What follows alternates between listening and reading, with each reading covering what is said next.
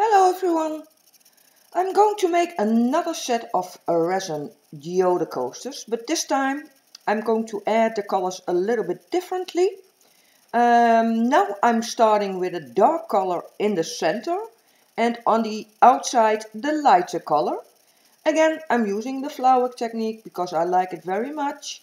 So for the new people to my channel, um, that like experiments like this one or tutorials of my other resin art, acrylics or mixed media, consider to subscribe. Don't forget to click the notification bell and select all because then you don't miss any videos that I upload in the future.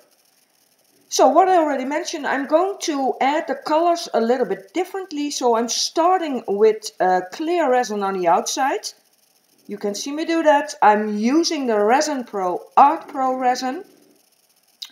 And it's an amazing resin. Very nice uh, to mix. And um, almost no air bubbles, so that's great. So what I said, a darker color in the middle. And this color is the Resitint Marine Blue.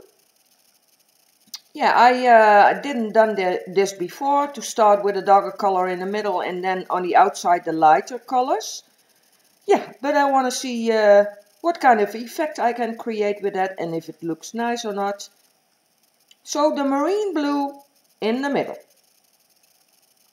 More clear on the outside because I also want to have a transparent uh, part. Yeah, the, the marine blue, the Resitint that I poured in the middle is also transparent, but I want to have more transparent parts.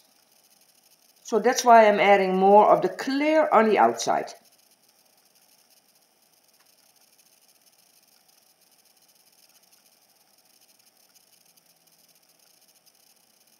And the mold I'm using is from a Dutch company called Molds and Shapes. Uh, I will add the link to their Facebook page in the description box. They don't have a website, they have a Facebook page.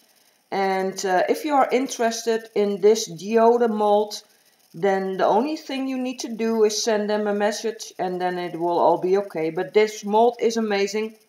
I like the shape of the coasters. I'm using my embossing tool to remove some air bubbles in the middle I, have I adding a, a, glitter mix. I'm using blue iridescent flitter flakes. Uh, the Cosmic Shimmer Glitter Bits Holographic Midnight Marine and also Recollections Chunky Glitter Marine Blue. And that mixture, mixture I'm adding in the middle. On the outside, a very transparent Bombay ink and then the color teal. It's very transparent. So on top of the clear resin, I'm pouring the Bombay ink teal. And hopefully it will bleed into the clear so that so that it will get that uh, watercolor look. I like that very much. Because I don't like the straight lines. So I want to have a little bit of a fade into the clear.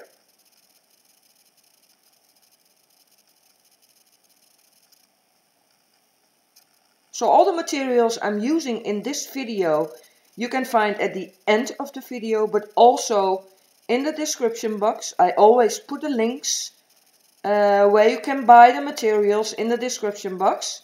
So if you're curious, go check out the description box.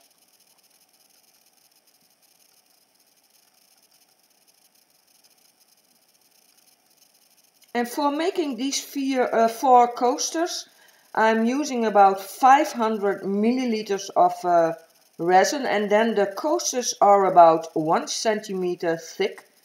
I think that's thick enough for a, for a coaster. Because if you pour it all the way to the top, then they are one and a half centimeters uh, thick. Again, my embossing tool to, to remove some air bubbles.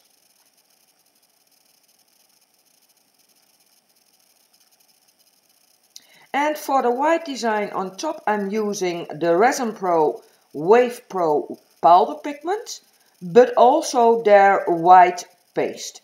And I'm going to use the white paste on the outside and in the middle I'm going to use the white uh, Wave Pro powder pigment. More of the teal on the outside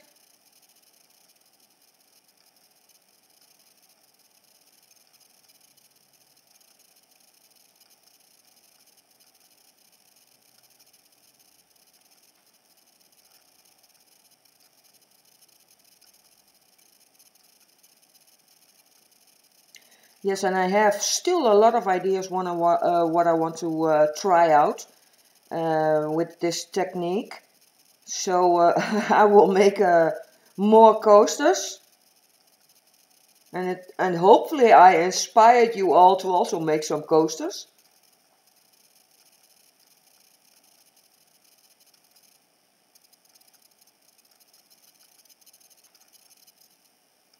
Now I'm starting with the white paste. Again I'm using a Ziploc bag and I cut off a small piece of the tip of the plastic and then uh, I'm adding the white line.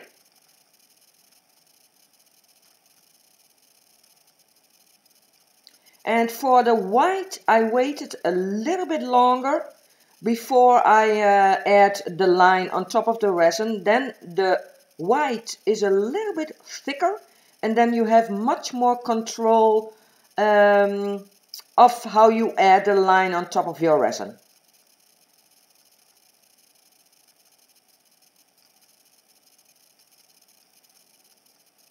So two lines, so the line would get a little bit thicker. That's why I'm adding two lines of the white.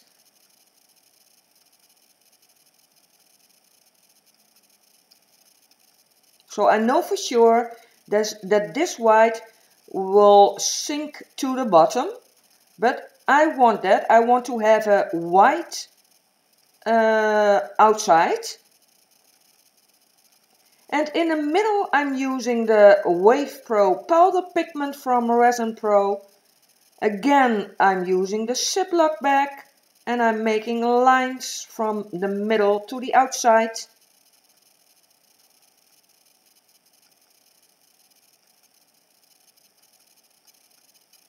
And uh, I also already know that the powder pigment will give me another effect than the paste. So that's good.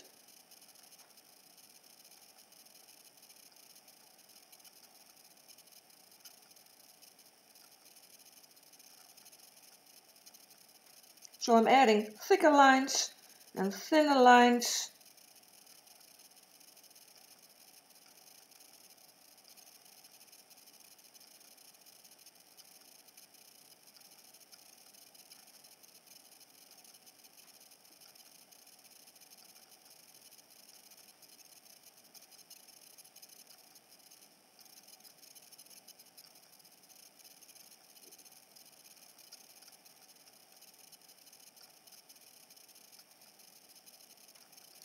Yes, and this uh, powder pigment, hopefully, um, not all the white will sink through, uh, to the bottom. Because then I have a lot of white on the other side of the coasters. Now I'm using a stirring stick and I'm dragging some of the white paste into the clear. There you can see it. And you can already see that the white is on the bottom of my silicon mold because it doesn't yeah, how do you say that in English? It doesn't move that much, the white. It's stuck on the bottom of my silicon mold.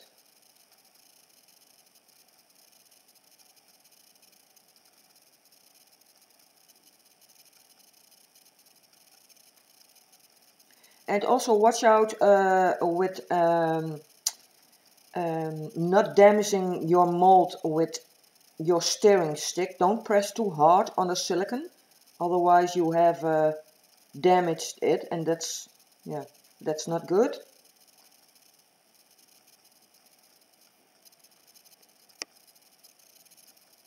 Using a thinner stick because I want to create this way a depth because I know that the white on the outside is stuck on the bottom of my silicon mold so if I drag some of the white into the clear then that will not sink to the bottom and then you have your depth. I hope I explained that uh, so that you understand it.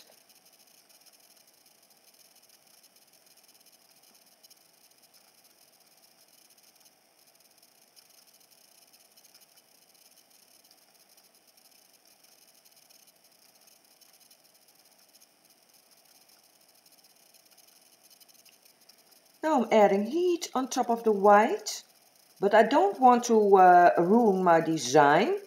So very carefully I'm adding the heat. Not too much in circles because then I will um, have no straight lines anymore. Because if you add heat on top of the white, some parts will sink to the bottom. But you also can make your lines a little bit wider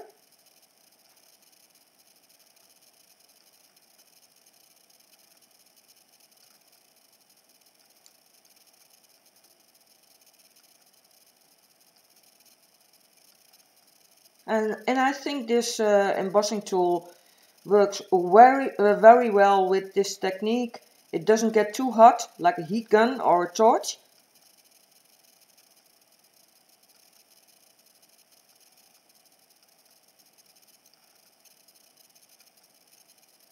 So only on the outside I'm adding in circles the heat so that I don't disturb my um, pattern in the uh, in the center.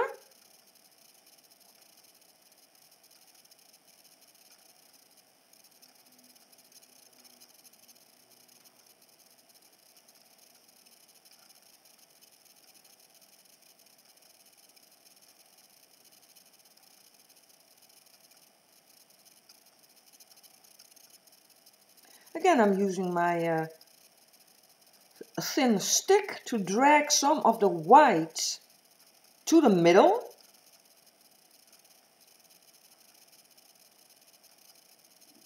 And hopefully this will give me a, a nice effect on the, yeah, on the back of the coasters.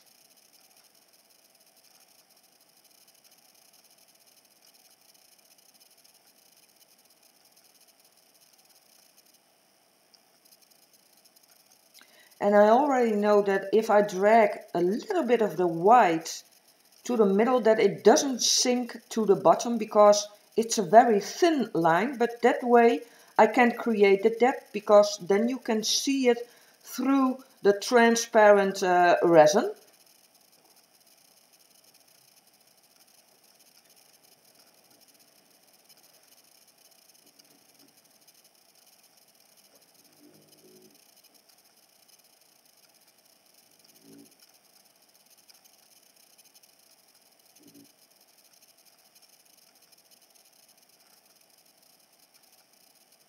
And I want to mention I still have some promo codes. I have a promo code of Resin Pro. That's the resin I'm using in this video. But also the paste and the white powder, the Wave Pro powder. So if you order through um, my link and you use my promo code Petra, then you get 10% discount on your total order. So that's great of uh, Resin Pro. And I'm also an affiliate of Jackson's Art Supply. It's, it's an UK based company. And if you buy through my links and uh, you are a new customer, then you get 10% discount. So that's also nice. And they have a lot of art supplies. So it's all in the description box. Yeah, this is uh, a close-up right after pour because I want to show you how it looks right after uh, I pour the resin into the mold. The, the, the thin lines and the colors. So the darker center and on the outside the lighter uh, shade of blue. Yeah, and hopefully I uh, uh, will get some great depth and uh, a nice uh, back of the coaster. But yeah, I need to wait for 24 hours before I can take them out of the mold. So I'm very curious. And this mold is amazing. Yeah, I'm trying to show you the depth, but it's so difficult to uh, capture that in, in the video.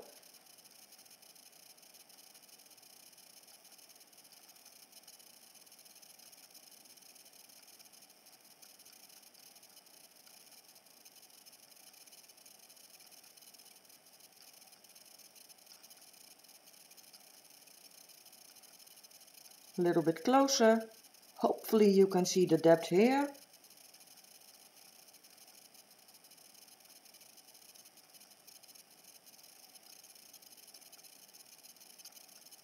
So I will let this dry and uh, after 24 hours I will show you how I uh, take them out of the mold.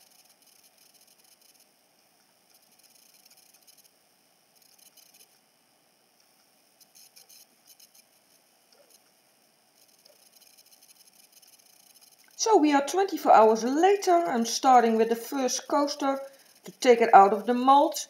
And I have no problems with taking them out. They are not stuck to the silicon mold. And uh, yeah, I don't like this side that much. So hopefully I will have a nice design on the back.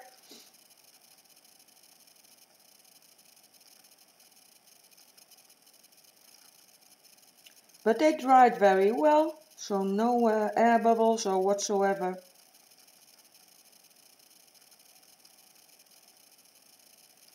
So the resin is great.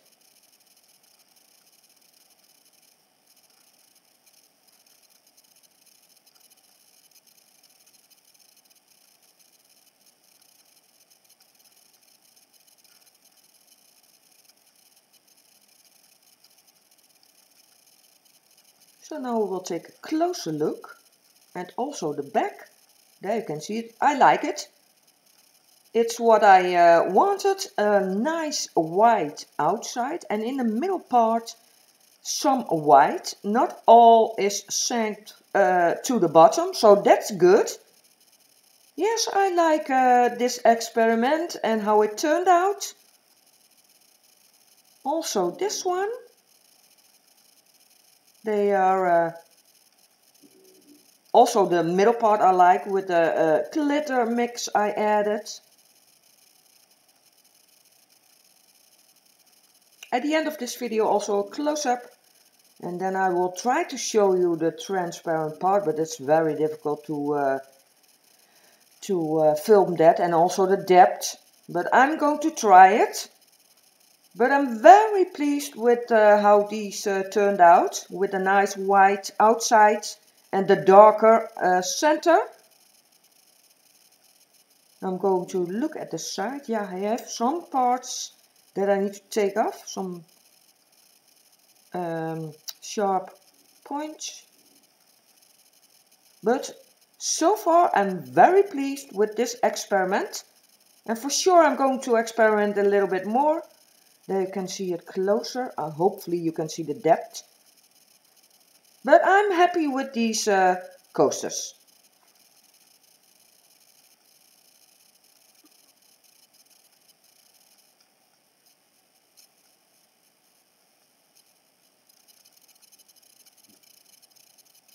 So this is how they look outside in the sun. But it's so difficult to uh, film the nice depth and the transparent part in the middle. Because the outside is the white, so that's opaque. But in between the white there is transparency. So that's so beautiful. I also like the uh, glitter mix I added in the centers and the darker color in the center. So yeah, I'm very pleased with this uh, experiment. Let me know what you think of these coasters. I would really like to know in the comments below this video.